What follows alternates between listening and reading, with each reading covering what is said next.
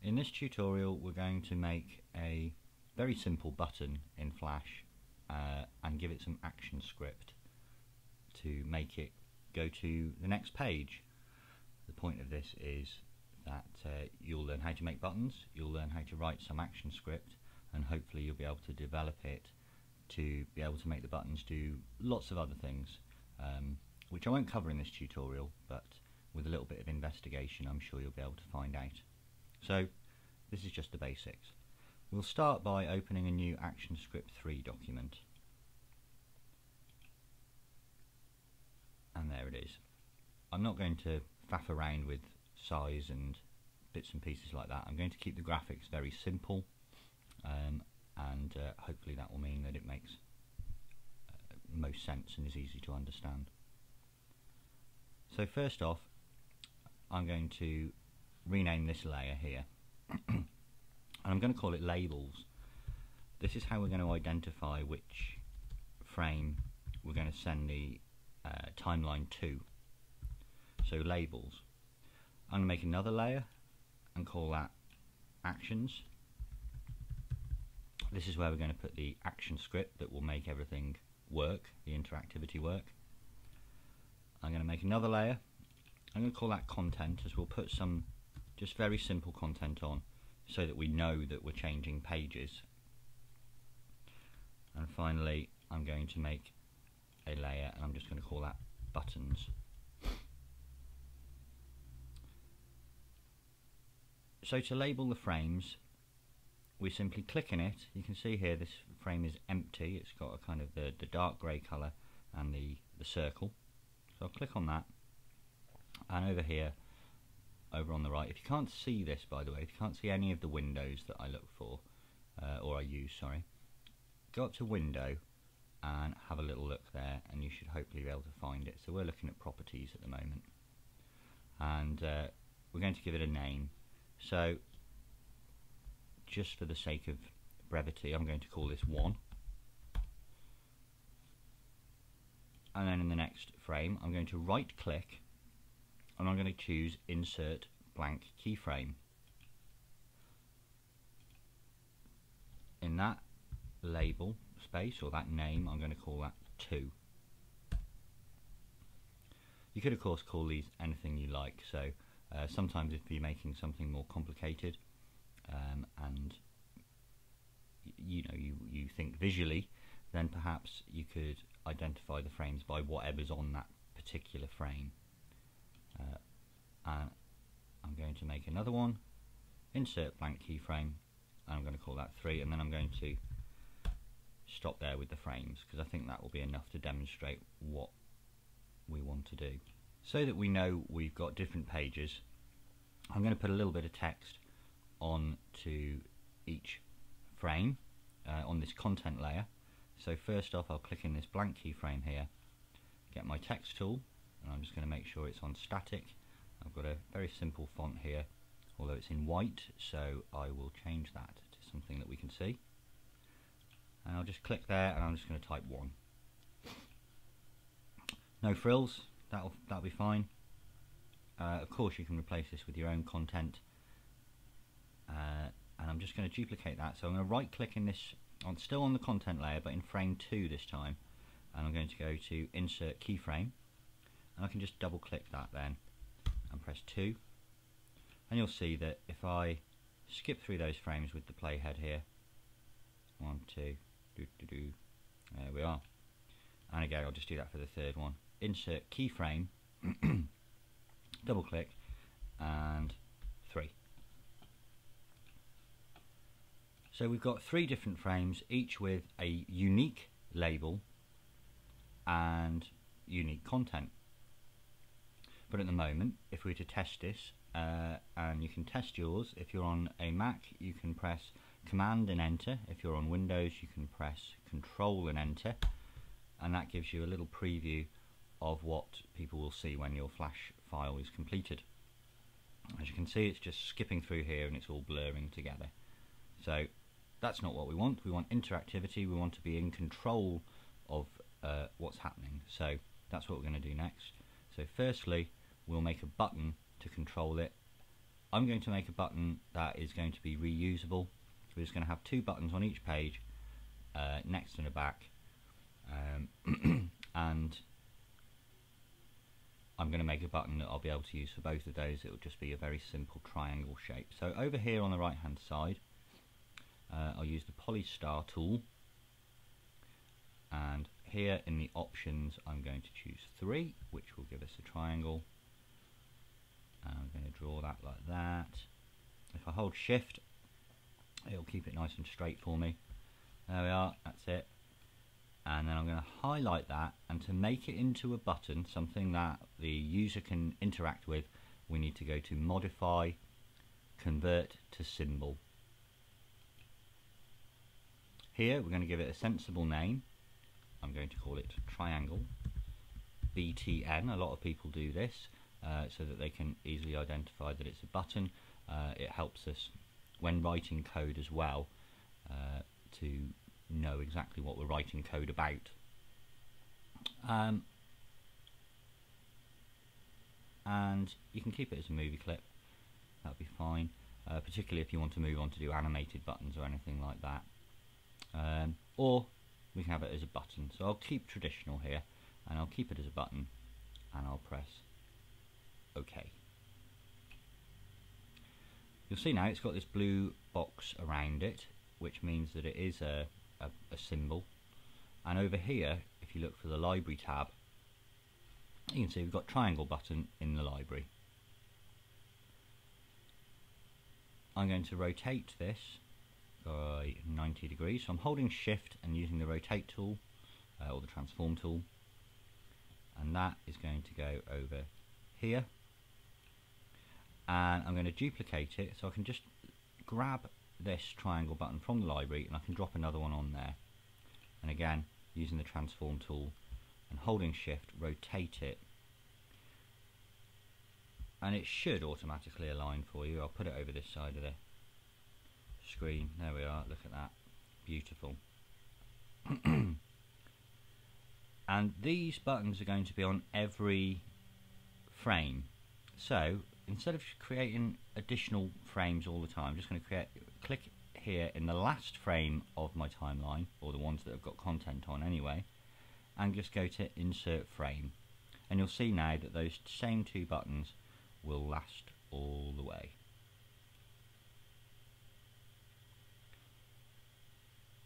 We need to make sure that the action script code that we're going to write can refer to these buttons individually. For that reason they need to have unique names. This one, I'll go to properties, I'll click it, go to properties, and I'm going to call it next BTN.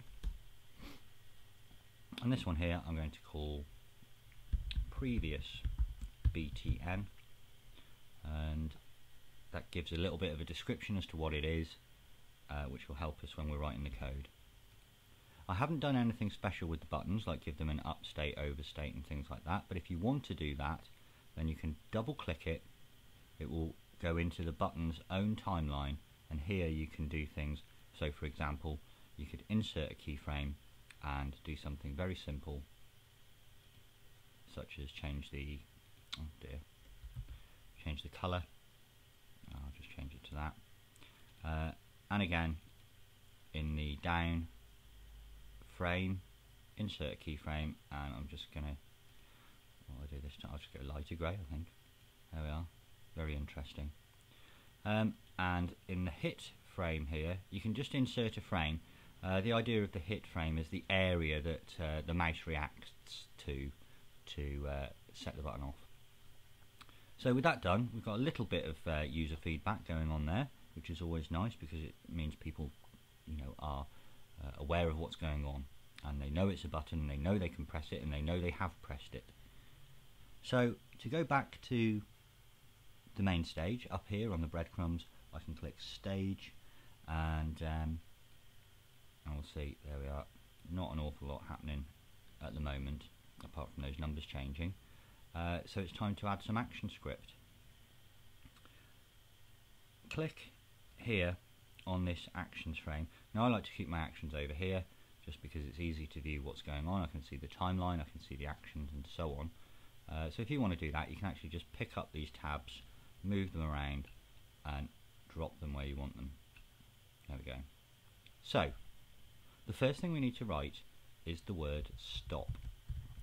And it's followed by these brackets because stop is a function, something that uh, carries out an action in ActionScript in, in Flash. So in this instance, it's fairly obvious, I expect, that we're going to stop the timeline. Um, and so when we test it again, you'll see that instead of flicking through the numbers, uh, this time it stops. Nothing else happens. We can see our buttons sort of working here, uh, but the timeline stopped there. We want to be able to press these buttons and move through the timeline. So, we need to say to the buttons, when you clicked, do something. Go to either the next frame or go to the previous frame. So we need to call the buttons first. So I'm going to say next button and uh, I need to write this add event listener okay all is one word and you'll notice that each new word has a capital letter you'll know you've got it right because it will turn blue add event listener. And the type of event we're listening for is a mouse event. And the specific event from the mouse is a click. Okay so when the mouse is clicking on that button. What's it going to do? It's going to call a function so a function like stop except one that we're going to write ourselves. Uh, so mouse event click you could of course have other things. Uh, there's a, a, whole range of things that you can have. And again you know have a little look on the internet to see the sorts of mouse events available. There are also keyboard events um, all sorts of things. So uh, we've said what we're listening out for and we're now going to tell it put this comma in don't forget the comma. Uh, we're going to tell it what to do when it is clicked and that is to go to next page. Um, so I'm going to set up a little function and just call it next page you can call functions whatever you like provided that when you write it it doesn't turn blue if it turns blue then it's sort of a, a a special word that is already being used for something in Flash like stop or play or, or these things here. We need to do the same thing for the previous button. So previous button, add event listener. Um, mouse event and it's a click and this time we'll go to the previous page uh, notice I'm using the same sort of format here with this capital letter thing. It's just because uh, Flash doesn't like spaces. You can't have spaces in function names or object names. And it's just an easy way to be able to read it because our eyes can pick up on the capital letter and, and see that as a, the beginning of a new word. So don't make them too complicated, but do make them sort of descriptive so that you can easily spot what they are and what, what it means. So with those listeners set up, we need to now make some functions. And um, functions are, as I say, the actual actions carried out. So one of our functions is going to take us to the frame beyond where we are, and one of them is going to take us back. Okay, so we need to say function next page. There we are. And notice that this is identical to this, capital letter in the middle and everything. Okay, If it's even remotely different, if I forgot to put that capital letter in, this would not work. It would assume that these two were different things. But actually this and this are the same. We're going to write in here uh, event mouse oops mouse event okay uh, so that this function knows what to expect. Then we do these curly brackets and you'll notice that when I type the curly bracket here it puts in this one down here. Now I'm sure the curly brackets have a proper name but at this time I have no idea what it is so I'm going to keep on calling them curly brackets. Um, and within the curly brackets we say go to and stop And then in here we say the page that we want it to go and stop at. Uh, so in this case, 2. Now, there is an easier way to do this, and that is to say go to and stop current frame plus 1. Hopefully that works.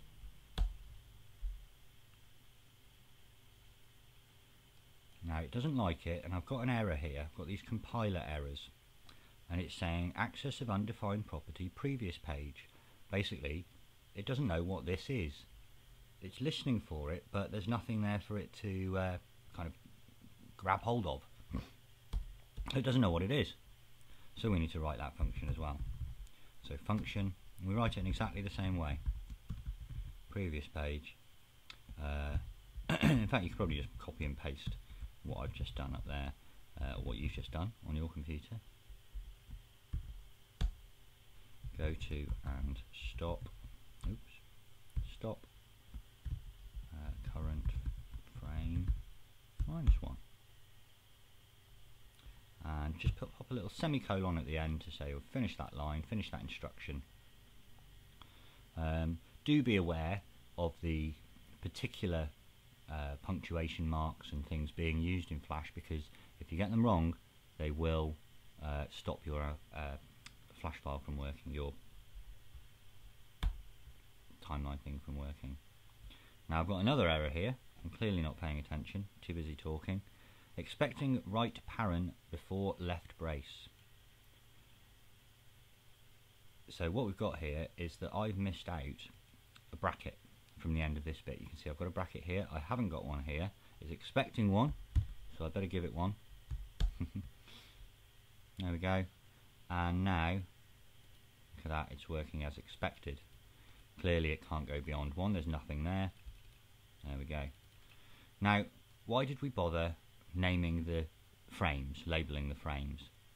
Um, simply to show you that uh, this can be very useful, especially if you're making a non-linear uh, button pressing game or something like that, then you could actually, I'm just going to cut that and I'm going to write in in quotation marks because it's a string, it's a word, uh, I'm going to write 3 and if I can uh, test this it will now leap straight to 3 and if I do that it will still go back one by one because I've still got that instruction there. So if you're simply going one page to the next page, like, like a book, then you can do current frame plus one and current frame minus one. However, alternatively, you can have lots of different buttons doing lots of different things. And because you've labelled your frames, you can have them leaping about all over the timeline to create perhaps something a bit more interactive and interesting um, than just a linear book. So that's the end of this. Uh, I hope that's been helpful. Don't forget to save your work. And that's that from me.